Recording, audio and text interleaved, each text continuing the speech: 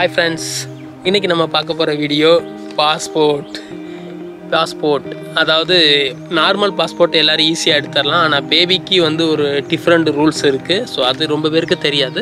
அவங்களுக்காக தான் இந்த வீடியோ இது வந்து பேபி பாஸ்போர்ட் பேபி பாஸ்போர்ட் அப்படின்னா பிறந்த குழந்தைய? அதுலேருந்து அஞ்சு வயசு உள்ளவங்களுக்குலாம் பேபி பாஸ்போர்ட் தான் சொல்லுவோம்.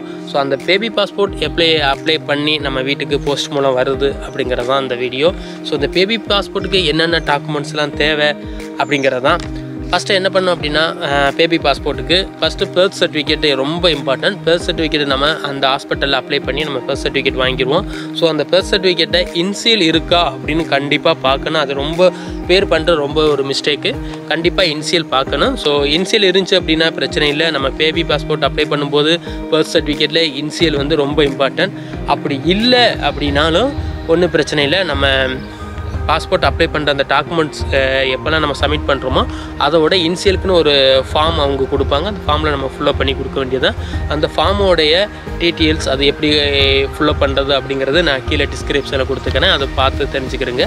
ஸோ இல்லை அப்படின்னா வீடியோ எண்டில் அதோடைய பிக்சர் இருக்கும். அதை பார்த்து தெரிஞ்சுக்கிறீங்க. அது எப்படி ஃபுல்லப் பண்ணணும் அப்படின்னு.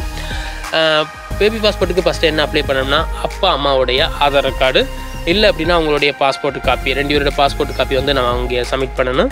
அதுக்கப்புறம் பேபியோடைய ஒரு ஃபோட்டோஸ் நல்ல கிளியராக ஒரு பாஸ்போர்ட் சைஸ் ஃபோட்டோ நம்ம வந்து சப்மிட் பண்ணணும். அதுக்கப்புறம் பேபியோடைய ஃபிங்கர் பிரிண்ட் அவங்க அங்கே எடுத்துக்கிடுவாங்க பர்த் சர்டிஃபிகேட்டு இந்த அப்பா அம்மாவுடைய பாஸ்போர்ட்டு காப்பி அது எல்லாமே கொண்டுட்டு போகணும் இங்கே ஆஸ்போ பாஸ்போர்ட் ஆஃபீஸ்க்கு அதோட அப்பா இல்லை அம்மா யாராவது இன்சைடு கண்ட்ரி நம்ம இந்தியாவில் இருந்துட்டாங்க அப்படின்னா ரெண்டு பேருமே சேர்ந்து போகணும். இல்லை யாராவது ஒரு ஆள் ஃபாரினில் இருக்காங்க அப்படின்னா அவங்க லாஸ்ட்டாக இந்தியாவிலேருந்து எக்ஸிட் ஆன அந்த காப்பி ஸ்டாம்பிங் காப்பி இமிக்ரேஷனில் ஸ்டாம்ப் பண்ணுவாங்க. அந்த கேப்பை கேட்பாங்க. இல்லை அப்படின்னா விசா காப்பி கேட்பாங்க. அவங்களுடைய விசா காப்பி அதையும் நம்ம வந்து சேஃப்டிக்கு ஒரு பிரிண்ட் எடுத்துகிட்டு போயிடலாம். இல்லை அப்படின்னா அவங்க ஒன் டைம் ரிஜெக்ட் பண்ணி விட்ருவாங்க அந்த டாக்குமெண்ட்ஸ் இல்லை இது இல்லை அப்படின்னு. அதுக்காகவே நீங்கள் ரெண்டு த்ரீ ஃபோர் டைம் போக வேண்டியதாக இருக்கு பாஸ்போர்ட் ஆஃபீஸ்க்கு ஸோ நம்ம என்ன பண்ணணும் அப்படின்னா ஃபஸ்ட்டு ஆன்லைனில் இல்லை அப்படின்னா நெட் சென்டரில் போயிட்டு நம்மளுடைய பேபி பாஸ்போர்ட்டுக்கு அப்ளை பண்ணுவோம். பேபி பாஸ்போர்ட்டுக்கு நைன் ஹண்ட்ரட் தான் எடுப்பாங்க. நைன் ஹண்ட்ரட் ரூபீஸ் தான். அப்ளை பண்ணுவோம். அதில் உள்ள டாக்குமெண்ட்ஸ் வெரிஃபிகேஷன் எல்லாமே இருக்குது அது எல்லாமே நம்ம கம்ப்ளீட் பண்ணிவிட்டு அப்பாயின்மெண்ட் புக் பண்ணுவோம். ஸோ எங்கள் ஏரியா ராமநாதபுரம் ராமநாதபுரத்துலேயே பாஸ்போர்ட் ஆஃபீஸ் இருக்குது ஸோ அங்கேயே நம்ம அப்பாயின்மெண்ட் எடுத்துக்கலாம் இல்லை அப்படின்னாலும் மதுரையில் வேணாலும் எடுத்துக்கலாம் எங்கே வேணாலும் இருக்குது அவைலபிள் ஆனால் ராமநாதபுரம் வந்து ஈஸியாக இருந்துச்சு எங்களுக்கு. அதனால் நாங்கள் ராமநாதபுரத்துலேயே அப்ளை பண்ணோம். அப்ளை பண்ணிவிட்டு அப்பா அம்மா ரெண்டு பேருமே சேர்ந்தே போகணும். ப்ளஸ் அவங்களுடைய பாஸ்போர்ட்டு எடுத்துகிட்டு போகணும். ஒரிஜினல் பாஸ்போர்ட்டு எடுத்துகிட்டு போகணும். சில கவர்மெண்ட் ஆஃபீஸ் வந்து கேட்க மாட்டாங்க வெரிஃபிகேஷனுக்கு சில பேர் கேட்பாங்க. அதனால் உங்கள் சைடில் உங்களுடைய டாக்குமெண்ட்ஸ் கண்டிப்பாக எல்லாமே நீங்கள் எடுத்துகிட்டு போயிடணும். ஒன்ஸ் அந்த டாக்குமெண்ட்ஸ் எல்லாம் நம்ம சப்மிட் பண்ணும்போது குழந்தையுடைய ஃபோட்டோ பர்த் சர்டிஃபிகேட் அப்பா அம்மாவுடைய பாஸ்போர்ட் காப்பி ஓ அவங்க எந்த நாட்டு விசா இருந்தாங்கன்னா விசா காப்பி அது வந்து அங்கே சப்மிட் பண்ணணும். ஒன்ஸ் சப்மிட் பண்ணதுக்கப்புறம் ஃபஸ்ட்டு ஃபஸ்ட்டு டேபிளில் என்ன கேட்பாங்கன்னா அந்த வெரிஃபிகேஷனாக செக் பண்ணி ஒரு ஃபைல் ஒன்று ரெடி பண்ணுவாங்க.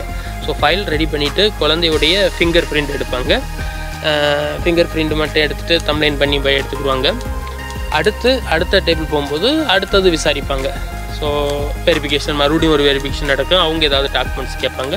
அதை வந்து சப்மிட் பண்ண வேண்டியது ஆனால் நம்ம வந்து நம்ம சைடில் பாஸ்போர்ட் காப்பி மட்டும் கொண்டு போயிருந்தேன் கரெக்டாக லாஸ்ட் இதில் என்ன கேட்பாங்க அப்படின்னா பர்த் சர்டிஃபிகேட் இன்சியல் இல்லை அப்படின்னா அவங்க ஒரு அங்கேயே ஒரு ஃபார்ம் கொடுத்து அந்த ஃபார்மில் இன்சியலுக்குள்ளே ரிக்வஸ்ட் ஃபார்ம்னு இருக்கும் அதில்.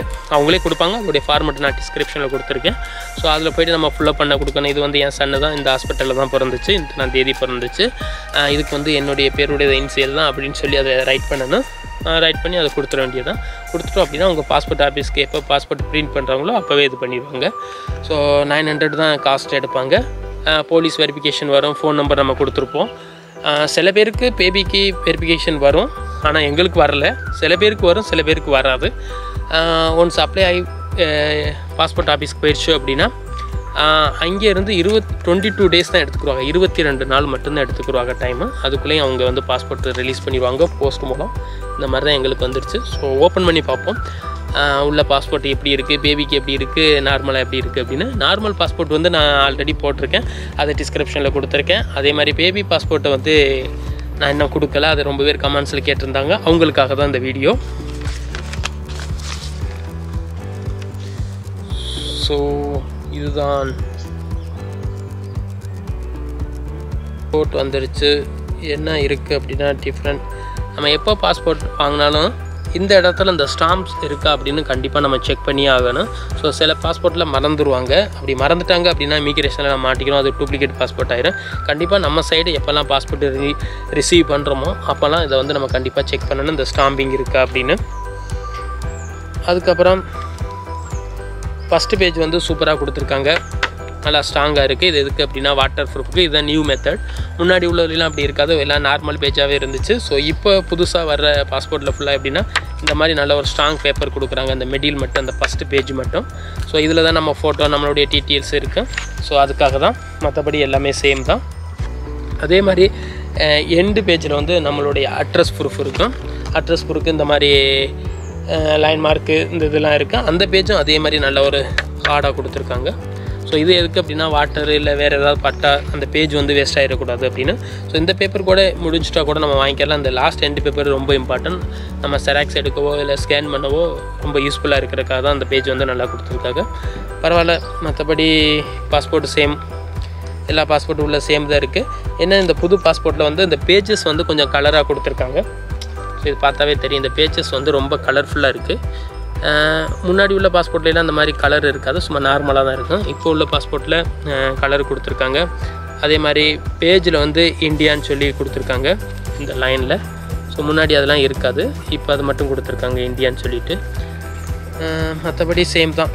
ஸோ நல்லாயிருக்கு அதே மாதிரி பேபி பாஸ்போர்ட்டில் என்ன பண்ணுவோம் அப்படின்னா என்ன பண்ணுவோம் அப்படின்னா இதில் வந்து நம்ம சிக்னேச்சர் இருக்கும்.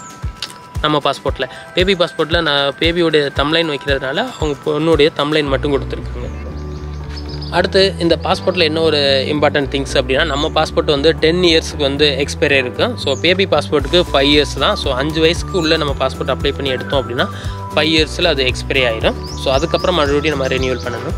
நீங்கள் பாஸ்போர்ட் அப்ளை பண்ண போனீங்கன்னா உங்களுக்கு வேறு ஏதாவது தகவல் வேணும் அப்படின்னா கீழே கமெண்ட்ஸில் வந்து நீங்கள் கமெண்ட் பண்ணுங்கள் நான் உங்களுக்கு டீட்டெயில்ஸ் சொல்கிறேன் ஸோ மேக்ஸிமம் ஒன் மந்தில் நீங்கள் பாஸ்போர்ட்டை ரிசீவ் பண்ணிடலாம் baby passport or fresher or new யார் வேணாலும் அப்ளை பண்ணோம் அப்படின்னா பண்ணிடலாம் ஆனால் டாக்குமெண்ட்ஸ் இதே தான் வேறு எந்த டாக்குமெண்ட்ஸும் அவங்க எக்ஸாக்ட்லியாக கேட்க மாட்டாங்க. இது மட்டும்தான் documents so thank you so much for வாட்சிங்